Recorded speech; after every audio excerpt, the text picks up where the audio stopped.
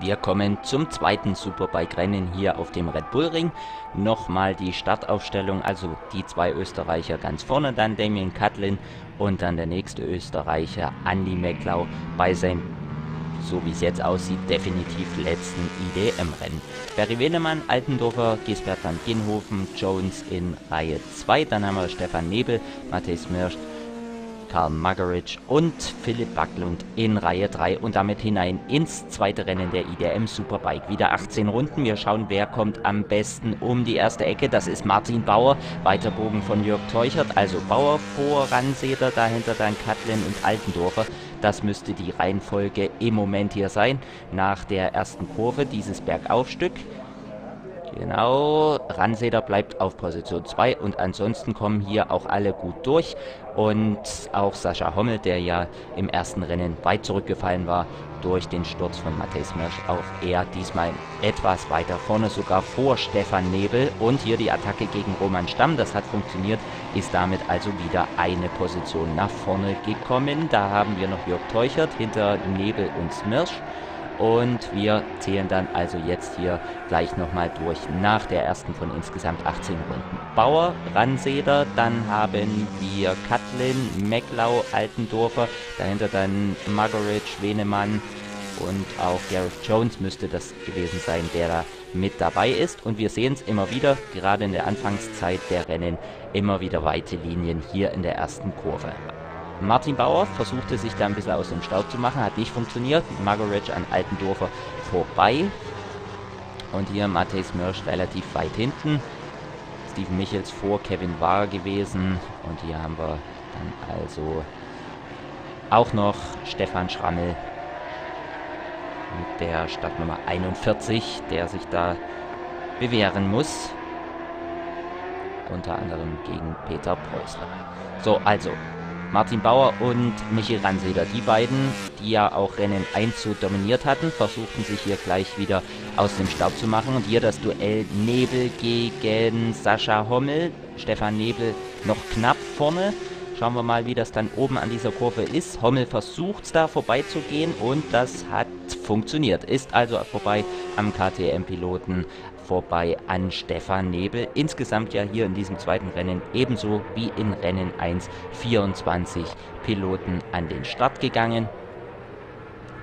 Martin Bauer und Ranseder, die beiden, die hier vorne die Pace machten. Dann Katlin, McLeod, Margaret, Jones, Altendorfer, auch Philipp Backlund noch dabei gewesen.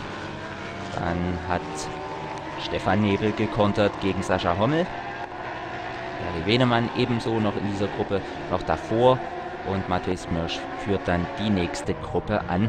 Also seine Meisterschaftschancen sind ad acta gelegt nach dem Ausfall im ersten Rennen.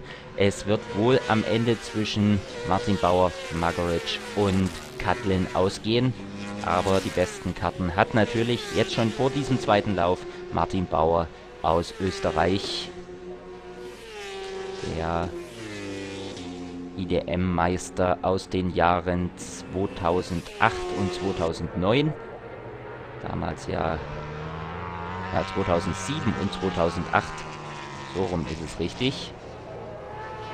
Denn 2009, da war es ja Jörg Teuchert und 2010, da war es Karl Margaritsch. Hier haben wir Mark Wildesen, der ja mit Rang 13 im ersten Rennen wieder mal Punkte geholt hatte. Besser in Schwung kommt. So, jetzt Ranseda, schon ganz, ganz nah dran an Martin Bauer und schauen wir mal, ob es da die Attacke schon gibt. Die BMW Power, ja, deutlich überlegen. Also, schauen Sie mal, wie spielend gleich der da an Martin Bauer vorbeigegangen ist, übernimmt also jetzt in der fünften Runde die Führung und jetzt bin ich gespannt, ob sich Michi Ranseder da gleich wieder absetzen kann, ob das so ähnlich läuft wie in Rennen 1. Denn da hat er ja überhaupt nichts anbrennen lassen. Da war es ein ungefährdeter Startzielsieg von Anfang an in Führung gewesen.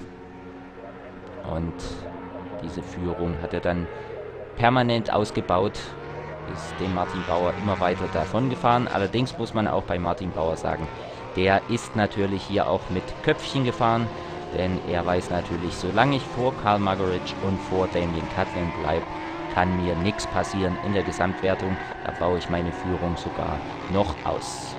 Nebel hinter Wenemann, dann hier auch Sascha Hommel mit dabei.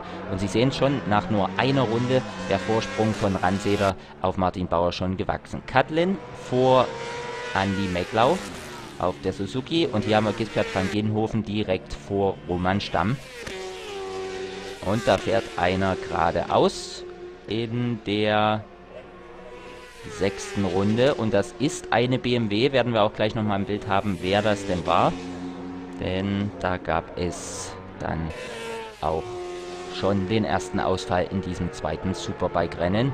Also nach rund einem Drittel der Renndistanz haben wir dann den ersten Ausfall. Werden wir gleich, wie gesagt, nochmal ein Bild haben. Gareth Jones, Wenemann, dann haben wir Nebel, Backlund, Teuchert, Rommel, Van Ginhofen und hier das Duell Matej Smirsch gegen Roman Stamm. Smirsch presst sich dadurch in der zweiten Linkskurve hier im Infield und kann damit wieder eine Position nach vorne kommen. Aber wie gesagt, Meisterschaft Johnsons AD.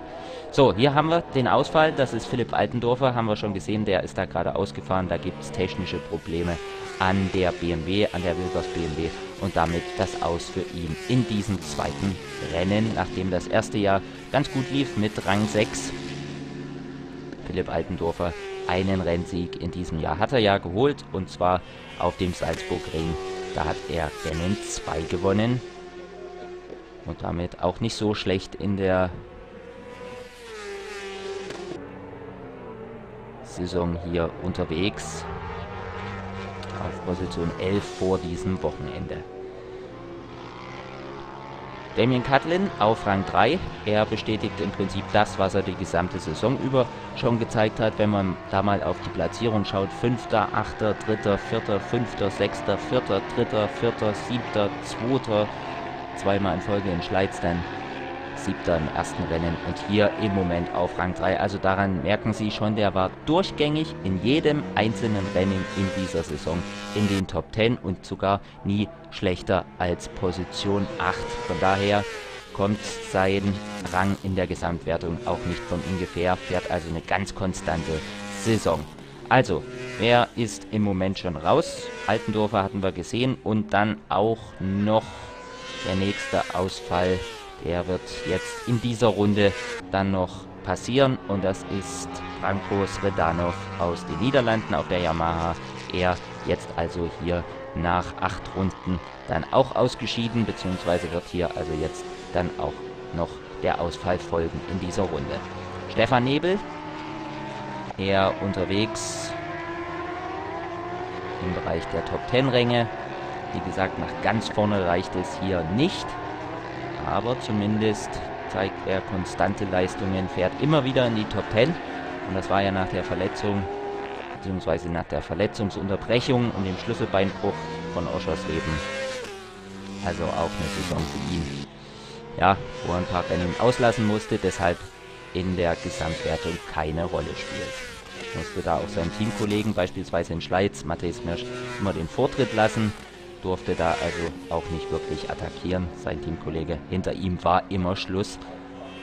Hat gesagt, ich durfte nicht schneller, denn bei Matej geht es natürlich auch noch um die Gesamtwertung. Das Thema hat sich jetzt hier allerdings nach diesem Wochenende endgültig erledigt. Ausfall im ersten Rennen und auch im zweiten Rennen so richtig nach vorne geht es da für den Tschechen vom Inha-Team auch nicht. Karl Magaric, er muss natürlich hier irgendwie mal was reißen. Er hat seit dem Sachsenring im Jahr 2010, seit dem ersten Rennen auf dem Sachsenring 2010 nicht mehr gewonnen, ist am Ende letztes Jahr dann ja trotzdem Meister geworden, diese hauchdünne Entscheidung in Hockenheim. Aber in diesem Jahr fehlt ihm noch der Sieg und auch für Hockenheim bin ich persönlich da nicht unbedingt optimistisch, wenn man sich da noch an die Performance im letzten Jahr erinnert. Und hier wird es ja eigentlich auch nichts werden bei diesem zweiten Rennen. Dafür fehlt doch ein bisschen Leistung. Er hat aber auch gesagt, es ist Quatsch, wenn mir jemand unterstellt, ich wäre nicht mehr motiviert. Es gibt halt einfach nur ein kleines Problem mit der Honda im Vergleich zur BMW und zur KTM. Die anderen haben einen viel größeren Sprung gemacht als wir und von daher ist man dort aktuell nicht ganz auf dem Niveau, dass man Rennen gewinnen kann. Nervt ihn natürlich auch, Und das nährt natürlich auch so ein bisschen die Spekulationen fürs nächste Jahr. Denn es war am Wochenende zu lesen, dass sein Wohnmobil verkauft werden soll. Ist jetzt die Vermutung, entweder ist es ihm mittlerweile auch zu groß oder vielleicht ja auch schon so ein kleiner Schritt in Richtung Aufhören. Das wissen wir also aktuell nicht so richtig. Aber wie gesagt, das war Nährboden für Spekulationen. Jetzt wieder der Blick aufs Rennen. Da hatten wir ein bisschen Zeit, weil nicht allzu viel passiert ist. Ranseder vor Martin Bauer, das ist relativ eingefahren. Auch die Position 3 und 4, da tut sich im Moment nichts. Aber dahinter hatten wir dann eine große Gruppe. Und auch hier, diese Gruppe wurde interessant mit Philipp Backlund, Roman Stamm und Matej Smirsch. Diese Dreiergruppe, die sollten sich in den nächsten Runden hier auch richtig ordentlich geben auf der Rennstrecke. Das war also auch richtig gut anzusehen. Da gab es dann immer wieder Attacken, also da können wir uns jetzt schon mal drauf freuen. Vorne an der Spitze, da war es wieder eine eindeutige Angelegenheit. Die letzten sieben, ja, etwas mehr als sieben Runden stehen da jetzt auf dem Programm. Van Ginhofen vor Jörg Teuchert, dann hier Backlund, Roman Stamm und Matej Smirsch, die drei ganz, ganz dicht zusammen, also die KTM hinter den beiden Suzuki.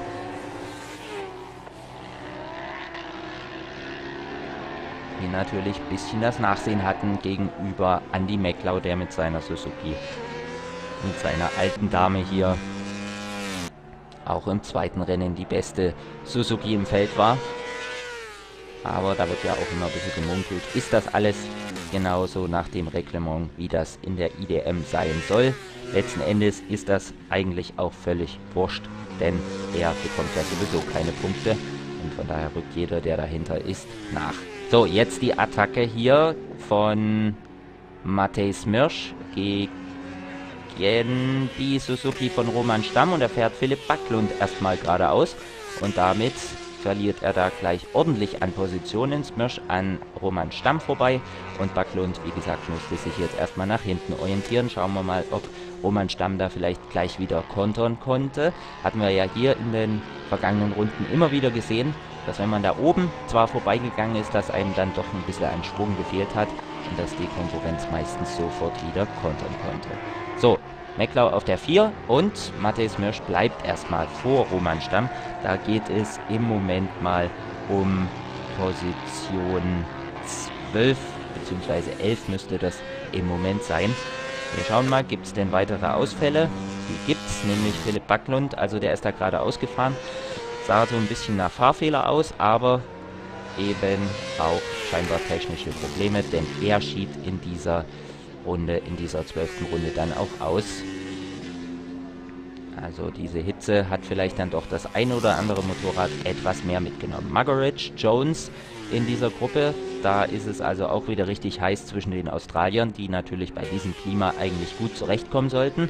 Aber ob das die Motorräder eben hinkriegen, das ist die zweite Frage. Vorne an der Spitze brannte überhaupt nichts an bei Michi Ranseder und bei Martin Bauer. Also die beiden, die brachten dieses Ergebnis hier locker über die Runden. Auch dahinter die Abstände relativ groß. Aber diese Gruppe hier mit Stefan Nebel am Ende davor, Barry Wenemann und eben auch Karl Margaret und Gareth Jones.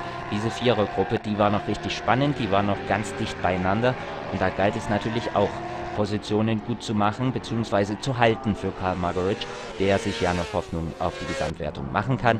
Aber wie gesagt, ich glaube mal, das wird alles ganz, ganz eng werden, wenn hier im Rennen nichts Dramatisches mehr passiert und Martin Bauer diesen zweiten Rang nach Hause bringt, denn aus eigener Kraft geht da nichts nach vorne. Und jetzt schauen wir wieder auf unsere beiden Streithähne. Hier erstmal der Blick auf Jörg Teuchert. Und gleich werden wir dann wieder das Duell im Bild haben zwischen Roman Stamm und Matej Smirsch, die sich da das ganze Rennen über also einen heißen Fight lieferten. Damien Catlin auf Rang 3 bestätigt das, was ich Ihnen gerade schon vorhin mitgeteilt habe, mit den Positionen ständig unter den ersten 8 zu sein in dieser Saison, auch wenn es mal Probleme gab, wie im ersten Rennen mit dem Reifen. Hier Roman Stamm und Matej Smirsch, die wechselten also fleißig die Positionen und kämpften da um Platz 11. Sascha Hommel dahinter hatten wir auch noch ein Bild. Da war nur noch Mark Wildissen dazwischen. Mark Wilderson im ersten Rennen auf Rang 14 und auch hier im, äh, auf Rang 13 und auch hier im zweiten Rennen im Moment mal auf Rang 13. Smirsch in der Verfolgung von Roman Stamm. Das war noch so ein bisschen das interessanteste Duell, wenn wir uns mal, oder wenn wir mal diese Gruppe mit Margaret, Jones, Venemann und Nebel ausklammern. Denn auf den ersten vier Positionen, da passierte mal rein gar nichts. Und dann hier diese Gruppe, die habe ich also gemeint mit Gareth Jones, der sich jetzt hier wieder an die Spitze dieser Gruppe gesetzt hat, also am anderen Australier an Karl Margaret vorbeigegangen, dann Venemann und Nebel. Also, da ging es auch fleißig hin und her. Drei, drei Runden jetzt noch zu fahren für die beiden Österreicher an der Spitze, die natürlich angefeuert wurden von den vielen, vielen Fans, die natürlich speziell den österreichischen Piloten hier die Daumen drücken, wie die von Andy McLeod, der natürlich heiß war, hier nochmal ein richtiges Top-Ergebnis hinzulegen in seinem letzten Rennen auf internationaler Bühne. Wie gesagt, die Superstock 1000, die österreichische Meisterschaft, war ja hier auch am Start. Das war dann das allerletzte Rennen hier am Wochenende und auch da war er ja dabei. Das Rahmenprogramm, das werden Sie in einem separaten Video auch noch sehen, denn da war ja Andy McLeod auch noch mit dabei und auch erfolgreich gewesen. Jones weiterhin vor Karl Magaritsch, dann Barry Wenemann, der ja ausgefallen war im ersten Rennen und Stefan Nebel. Vorletzte Runde. Sie sehen es, der Vorsprung weiterhin riesig von Michi Ranseder, der hier einen ungefährdeten Doppelsieg entgegenfuhr.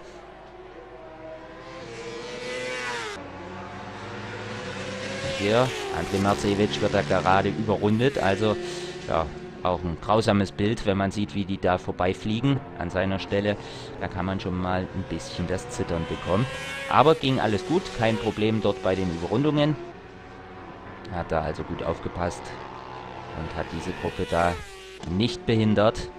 Jones, Margaret, Venemann und Nebel, da hat sich von den Positionen her zumindest mal nicht allzu viel getan. Trotzdem alle noch richtig dicht beieinander. Da könnte vielleicht zum Ende hin doch nochmal irgendwo eine Attacke erfolgen. Und jetzt sind wir in der letzten Runde mit dem Spitzenreiter, mit Michi Ranseder. Martin Bauer auf Rang 2. Damit kann er, denke ich, sehr, sehr gut leben. Vor Damien Cutlin wird er da ins Ziel kommen. Hier die Attacke von Stefan Nebel gegen Barry Venemann. Das hat nicht funktioniert. Weite Linie von Roman Stamm und damit auch die Entscheidung in diesem Duell gegen Matej Smirsch. Und jetzt sind wir dabei bei den letzten Metern von Michi Ranseder hier auf dem Red Bull Ring hin zum Doppelsieg an diesem Wochenende. Und damit ein perfektes Wochenende. Pole Position und zwei Rennsiege. Das war also eine lupenreine und astreine Vorstellung und am Ende konnte er sich halt hier über 50 Punkte freuen und damit nochmal ein gutes Ergebnis. Ranseder, Bauer, Catlin, das ist das Podest, dann Andy McLeod, dann die nächsten beiden Australier, Geoff Jones und Karl Magaritsch, Venemann, Nebel auf der 8, Van Ginhofen auf der 9, Jörg Teucher der 10. Smirsch, Stamm, Wildessen, Hommel und Irek Sikora. Das sind die Top 15. Und da haben Sie schon gesehen, viele, viele BMWs wieder ganz, ganz vorne, denn hier auf der Strecke ging es natürlich auch um Topspeed und Leistung.